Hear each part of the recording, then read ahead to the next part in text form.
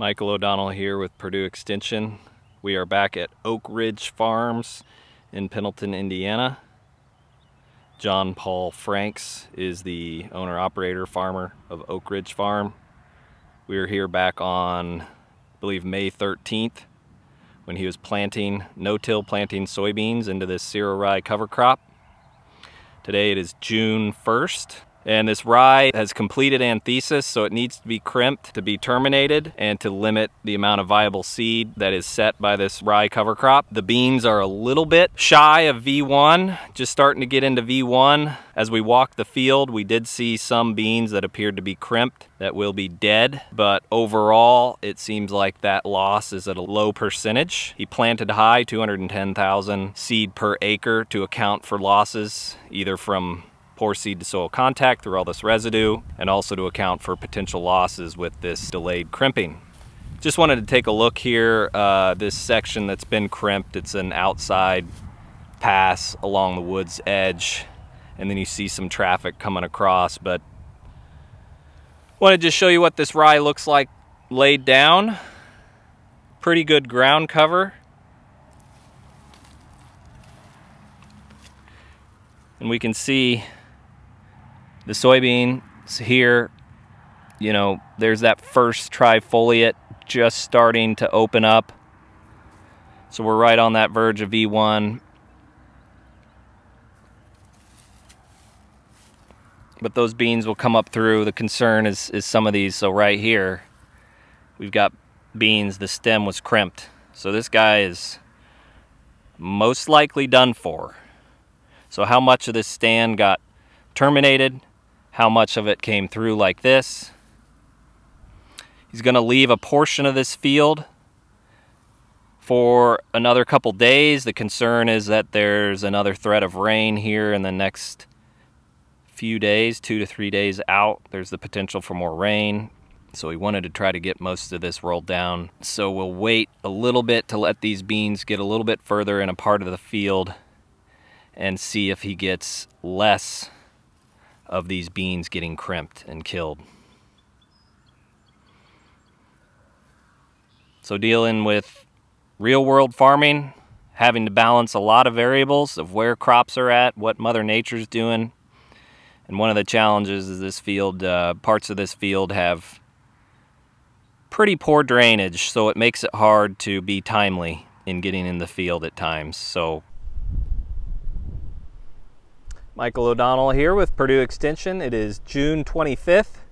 We are at Oak Ridge Farms visiting the transitional organic no-till soybean field managed by John Paul Franks, owner of Oak Ridge Farms. This field was planted on May 13th into standing rye and then roller crimp on June 1st and June 2nd. So we're about three, four weeks out from that roller crimping, about five weeks from planting. If you recall, this, this field was drilled, as we can see here, a solid stand of soybeans. But we, we also notice that a lot of the rye is still standing. It's shorter rye. So whether there's some variability in this uh, in the seed that was used for this rye cover crop, where some of the the rye was a little delayed in physiological maturity compared to the rest of the stand, or possibly during the planting operation into that standing rye, if that damaged and stressed some of these tillers and resulted in them being delayed in their physiological development. Not sure, but that's this is going to result in some viable seed being produced here in this field and something that's going to have to be considered in the future as as uh, the rotation plays out couple other things, there are some grasses coming in here despite this nice mat of rye. There are some open spaces.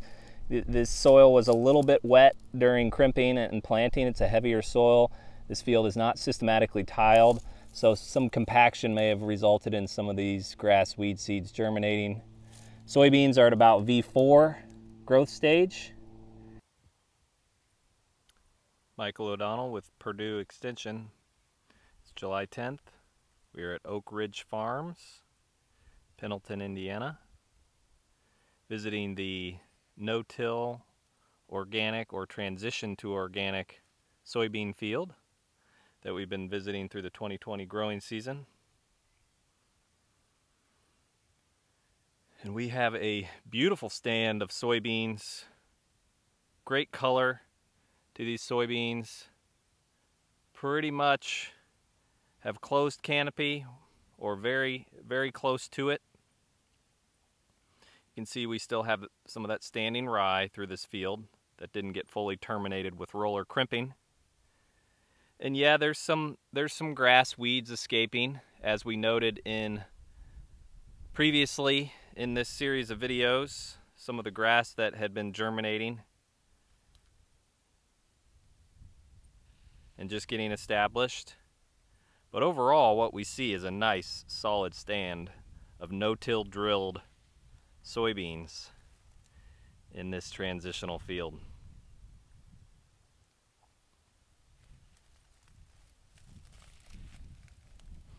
If we look in in here, we can see the soybeans are moving into reproductive. We see flowering all the way all the way up the nodes of this stem.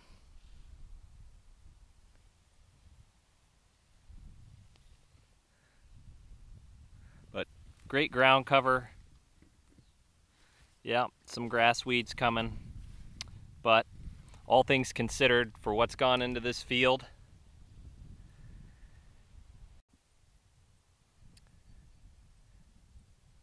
So I think this field has a great chance of uh, moving through this season. Hopefully get some some nice timely rains as these beans move from move through the heat of the summer in July and August and finish out this growing season strong and produce a good transitional soybean crop. So we want to thank John Paul Franks of Oak Ridge Farms for allowing us to uh, follow this field in this first half of the 2020 growing season.